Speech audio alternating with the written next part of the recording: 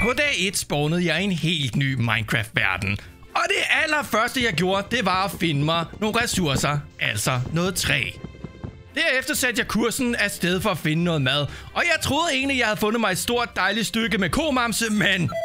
El, jeg vil gerne snakke med dig. Ah, et talende ko! Ah! Okay, lad os lige kigge om koen stadig er der. Ko? Ah, den er der stadig! Ah, Den er mega creepy, den står bare og holder øje med mig. Okay, okay, bare den er væk. Ah, den er lige her! Hvad ved du, ko? Seriøst, hvad er det dit, hvad er dit problem? Hvad ved du mig? Jeg vil bare tale med dig. Okay, okay, jeg går med til at lytte til, hvad du har at sige. Men, men, altså, vil du, kan du ikke bare fortælle mig, hvad det er, du gerne vil, Ko? For det er mega uhyggeligt, det her. El, du skal være køernes konge. Køernes konge?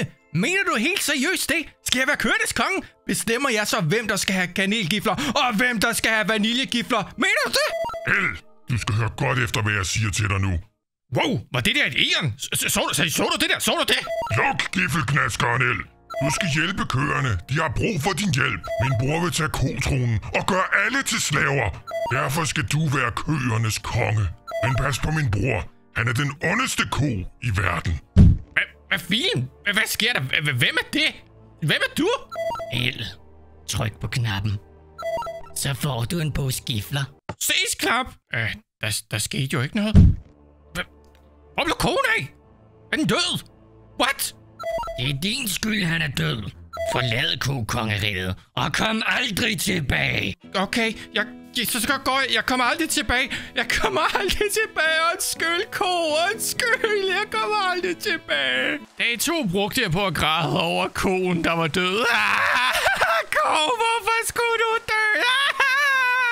Dag 3-6, der besluttede jeg mig for, at det var tid til at holde op med at græde. Og det betyder, at det var tid til at få i gang i nogle flere ressourcer, og rent faktisk måske endda komme lidt på fod. For lavede mig nogle redskaber, og få styr på madsituationen, så derfor var jeg nødt til at få fat i noget at spise. Desuden besluttede jeg mig for at rejse langt væk. Da jeg var nødt til at finde mig et sted, som jeg rent faktisk kunne bo. Først troede jeg, at jeg havde fundet et perfekt sted at bo, men det viser, at der var nogle underlige grønne bløddyr, som rent faktisk havde indtaget det sted, som min base skulle være. Øh, undskyld mig, men hvem kalder du bløddyr? Jeg hedder faktisk Geo Skjoldfyr. Men man kan lave ham der skjoldfyr om til et skjold. Du ved godt, at du tænker højt, ikke? Nå, for fint da. Okay, nu stikker jeg af i skjoldfyr. Ses dit åndssvage bløddyr. A7-8 brugte jeg på, på at falde til det nye sted, som jeg rent faktisk havde valgt at lægge min base. Og stedet, jeg havde udset mig, var fyldt med søde naboer. Der var køer, og der var æsler. Men inden jeg rigtig begyndte at lære mig at kende, så besluttede jeg mig for at bygge en midlertidig base. Mit hus var ikke prangende, men det var mit hus, og det er et dejligt hus, hvor jeg kan være i sikkerhed, opbevare mine ting, tage mig en lur og lave noget mad. Desuden kan jeg indbyde naboerne til en fest eller to, hvis de ellers har lyst. Dag 9-10 var mærkelige. Mit hus var omringet af onde køer. Kom aldrig tilbage. Køerne hader dig. Liv væk.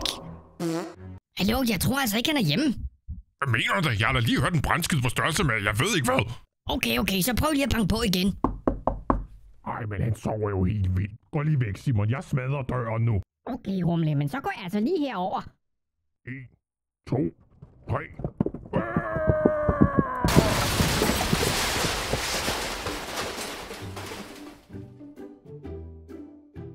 Nå, er du vum...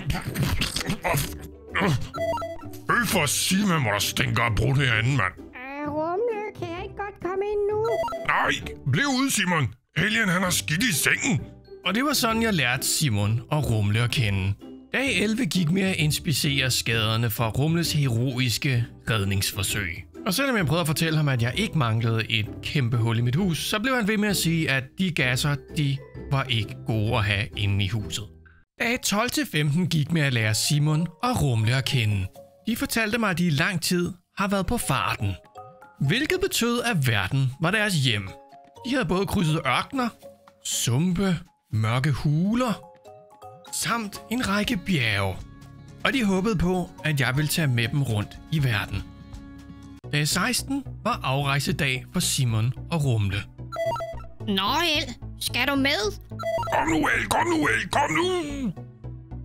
Ja, jeg vil gerne med jer rundt i verden. Så, Daniel, det er altså et godt valg, det der. Lad os komme afsted, mand. Okay, det gik lidt galt. Dag 17 til 30 gik med at udforske verden. Både Simon og Rumle ville virkelig gerne vise mig, hvad verden havde at byde på. Så vi rejste og rejste og rejste. Hver aften, inden vi gik i seng, samledes vi om bålet og fortalte historier fra vores liv. Rumle fortalte om sin tid som cirkusæsel. Og ved du hvad, El? Den aften, der slog jeg en brud, der var så stor, at hele cirkusteltet bare eksploderede. Ja, det er faktisk rigtigt nok, Alf, fordi han lugter jo faktisk også stadig lidt af brudt. Det har jeg da i hvert fald altid synes han gjorde. Men selvom livet var herligt sammen med Simon og Rumle, så kunne jeg stadig ikke helt Jo, glemme, Rumle, du hvad det var, konen havde fortalt mig. Nå, hej Simon. Jeg lugter ikke af brudt. Jo, en lille smule gør det faktisk. Nej! På dag 31 fandt vi to køer, der var overladt til deres endeligt. Og jeg vidste, det var på tide at fortælle Simon og Rumle om den onde kokonge. Til mit held indvillede både Simon og Rumle i at hjælpe mig med at besejre den onde kokonge.